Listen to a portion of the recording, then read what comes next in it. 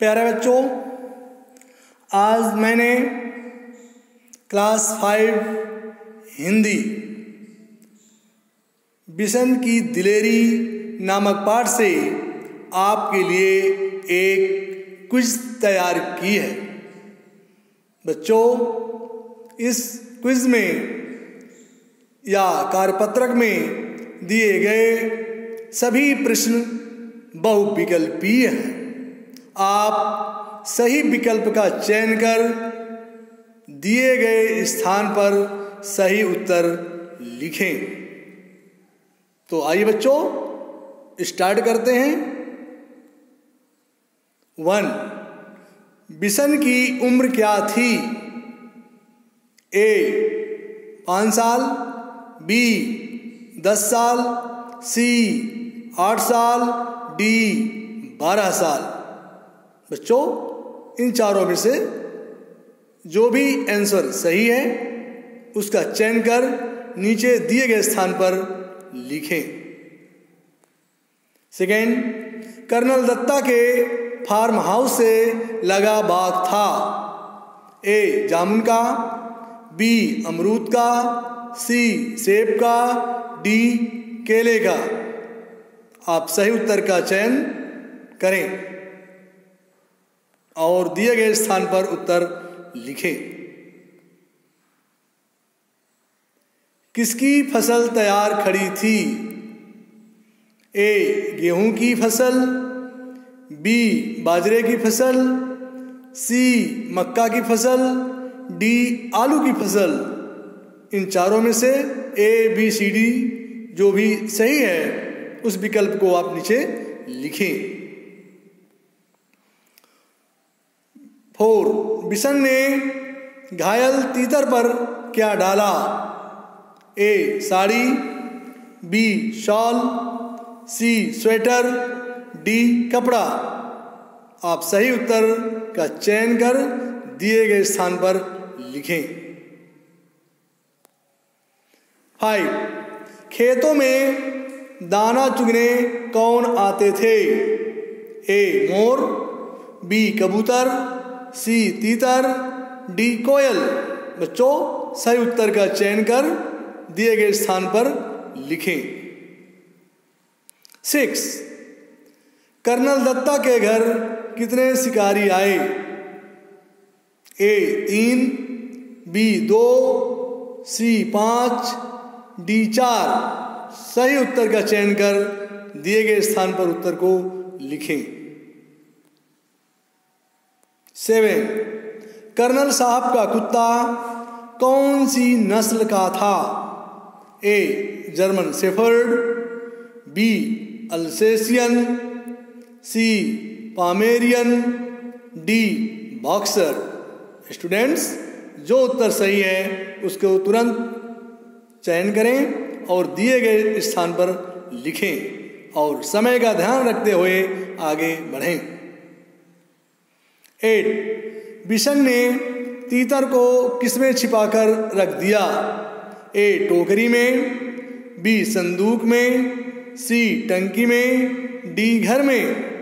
आप सही उत्तर का चयन करें और लिखें। नाइन।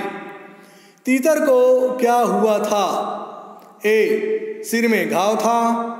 बी, मर गया था। सी, चोट लगी थी। डी एक पंख टूट गया था। बच्चों, इन चारों में से जो सही उत्तर है, उसको आप लिखें। टेन, कर्नल दत्ता के नौकर का क्या नाम था?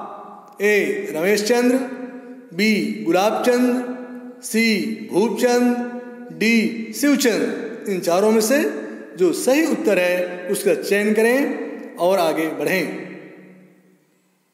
इलेवन सेबों के बाग में किसका छिड़काव हो रहा था? ए पानी का बी यूरिया का सी दूध का डी कीटनाशक दवाओं का।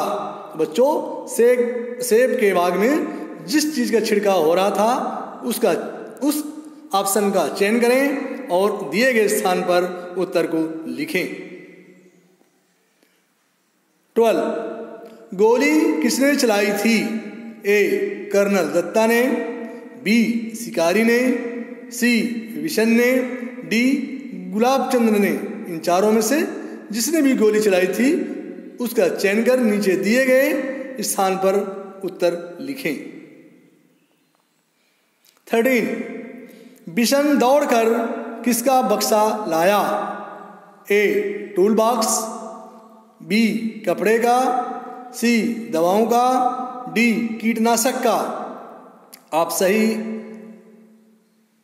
उत्तर का चयन करें और नीचे लिखें। फोर्टीन, आसमान में गोल गोल चक्कर कौन काटने लगे?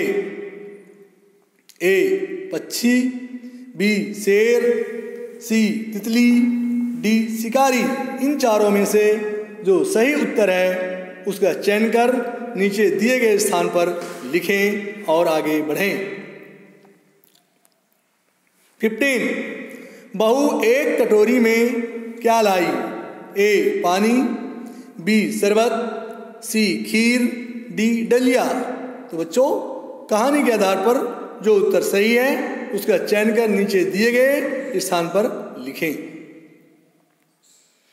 सिक्सटीन लड़के रुक जा, नहीं मैं गोली मार दूँगा, किसने कहा? ए, कर्नल दत्ता ने, बी बिशन ने, सी, शिकारी ने, डी, डॉक्टर ने। बच्चों, ए, बी, सी, डी, इनमें से जो सही है, उस उत्तर का चयन कर लिखें। सेवेंटीन किसने किसे सबक सिखाने की सोची? ए, शिकारी ने बिशन को बी, बिशन ने शिकारियों को, सी, कर्नल ने शिकारी को, डी, दवा छिड़कने वालों को। इन चारों में से जो उत्तर सही है, उसका चयन कर नीचे दिए गए स्थान पर लिखें और समय का ध्यान रखते हुए बच्चों आगे बढ़ें। एटीन, शिकारियों ने अपनी जान पहचान किससे बताई थी? ए, माधव सिंह से, बी गुलाबचंद से, सी, कर्नल दत्ता से, डी नौकर से। जो भी उत्तर सही है, इन चारों में से उसे आप तुरंत लिखें। नाइनटीन, दिलेरी का अर्थ है, ए, कायरता, बी, बहादुरी, सी, होशियारी, डी, बेवकूफ़ी। इन चारों में से जो सही उत्तर है, उसको आप लिखें।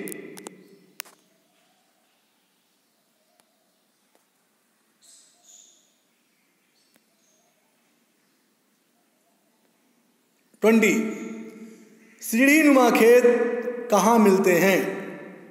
ए, पहाड़ों पर, बी, मैदानों में, सी, नदियों में, डी, पठारों में।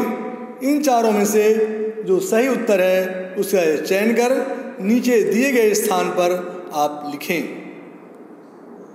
बच्चों, आपने सभी ट्वेंटी क्वेश्चंस पूरे कर लिए होंगे। आपकी सुविधा के लिए आगे इसके आंसर दिए गए हैं। उनसे आप मिलान कर लें और देखें कि आपको ट्वेंटी में से कितने मार्क्स मिले। ए, वन का बी, टू का सी, थ्री का ए, फोर का सी, फाइव का सी, सिक्स का बी, सेवन का बी, एट का ए, नाइन का डी, टेन का बी। एलेवन का डी ट्वेल्व का बी थर्टीन का सी फोर्टीन का ए फिफ्टीन का डी सिक्सटीन का सी सेवनटीन का बी नाइनटीन का ए ना, एटीन का ए नाइनटीन का बी और ट्वेंटी का A. You have successfully completed your quiz students एक मॉर्स और ग्रेड 18 टू 20 जिन छात्रों ने पाया excellent. 15 to 17 very good. 12 to 14 good.